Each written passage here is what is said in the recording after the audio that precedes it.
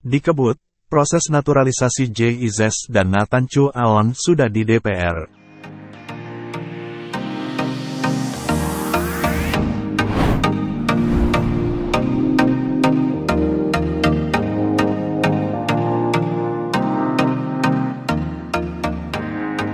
Proses naturalisasi dua pemain keturunan yang akan membela timnas Indonesia terus dikebut.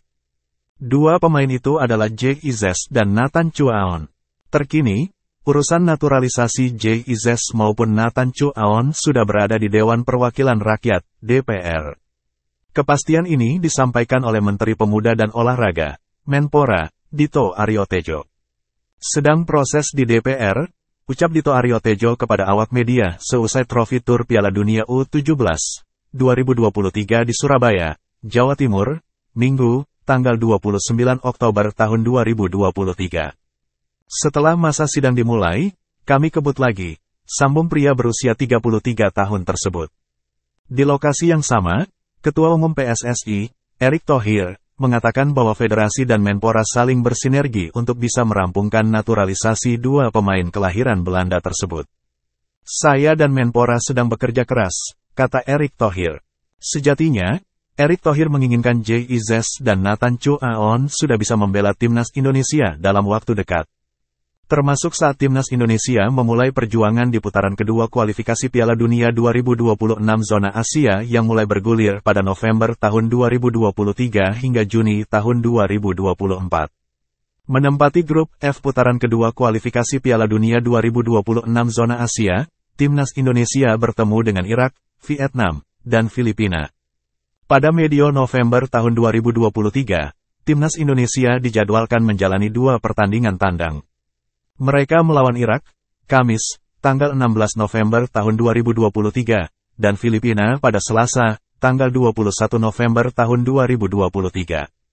Erik menuturkan naturalisasi Jay Izes dan Nathan Chu Aon diprediksi beres pada Maret tahun 2023.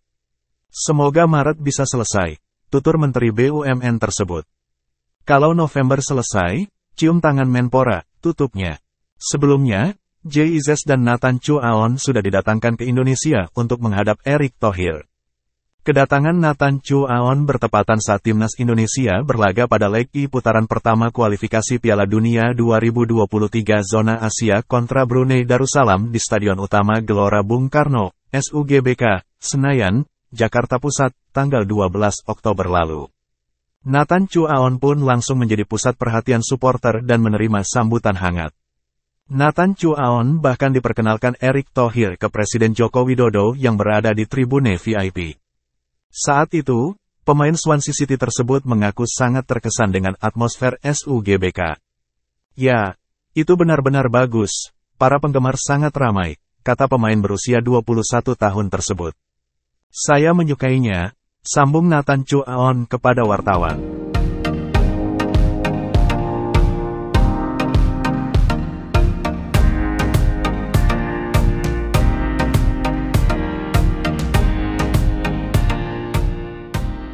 Download Tribun X sekarang.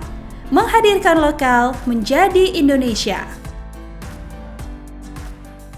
Terima kasih sudah nonton. Jangan lupa like, subscribe, dan share ya.